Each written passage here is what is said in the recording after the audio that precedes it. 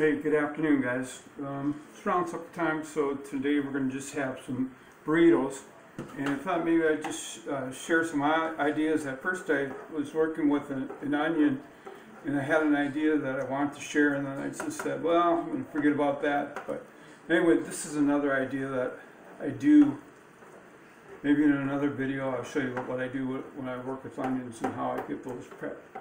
But for this one, I'm just going to show you an idea. So you know when you have a loaf of bread and you have the ends, a lot of people don't eat those. Um, I'll eat them if I toast them. And they're hard when you're making French toast or anything like that. So normally we end up throwing them out anyway. So when I'm making um, the, the hamburger, when I'm uh, I'll say when I'm frying it. So what I do is I, we use one of these uh, or electric frying pans that we used. It's called the New Wave. I'm not endorsing it, but this is one we used. And these are the kind that you can move and you don't burn your hand on it. So it's kind of a cool, we got it years ago, something we, we saw. Um, some of our kids have them also. So what I do though, when I'm cooking like that, making burritos especially, I just use the ends of the, the bread loaf. I just set it in there, kind of set it up a little bit.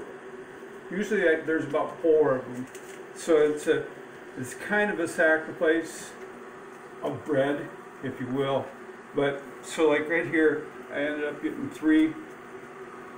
Just turn them around a little bit. Now remember that th- these are, the oil in here is hot. It's hot grease. It's coming from a frying pan.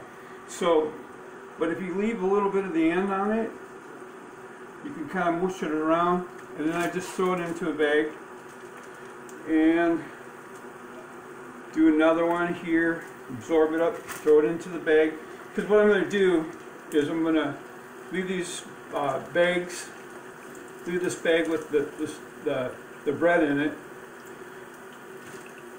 And I'm going to end up tossing this outside, probably feed a couple squirrels or whatever. So haven't decided. Or I also have the choice, obviously, to um, put that, put this in the garbage too.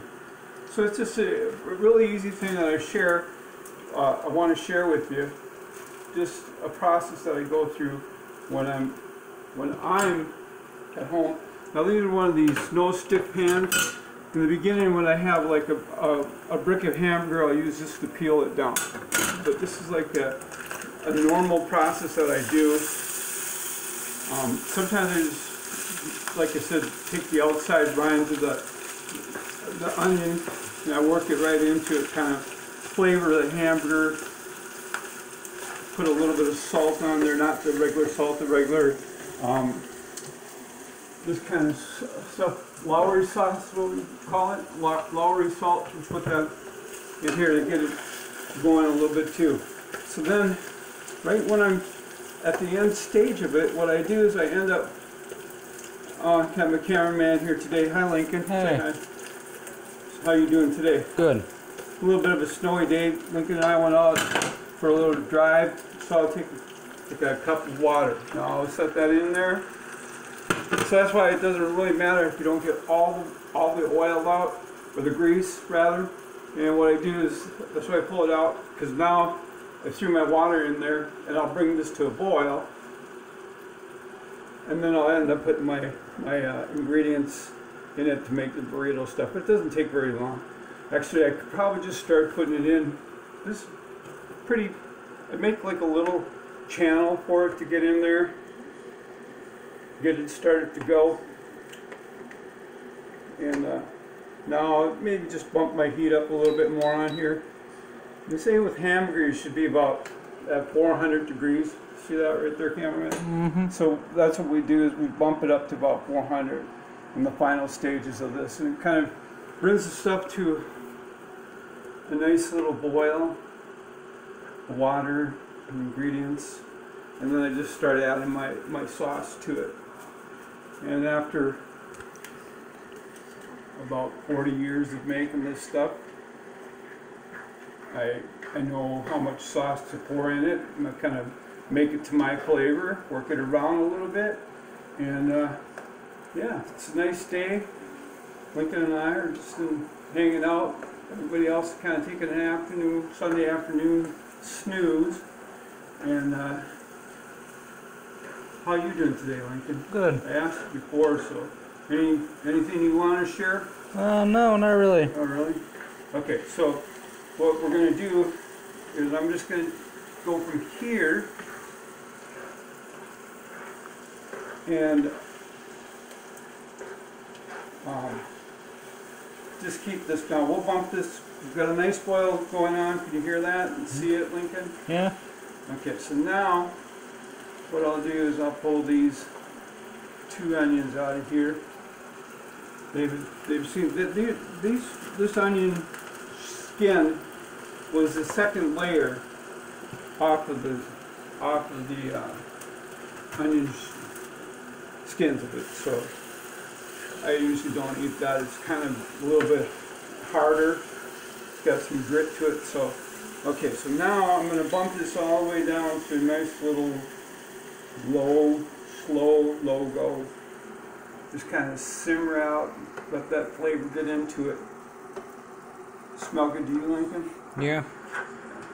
Lincoln's uh, he's almost six foot tall now, so he's gotten quite an appetite. So he's not afraid to, to dig in and have a couple burritos or whatever. So um, that's going to be the end of pretty close to the end of this video. I'm I'm going to have to I'm going to chop onions in a little bit, and uh, I don't think that's really exciting, but um, the beginning part of it is is kind of a little bit of a um, fun part to getting an onion prepped.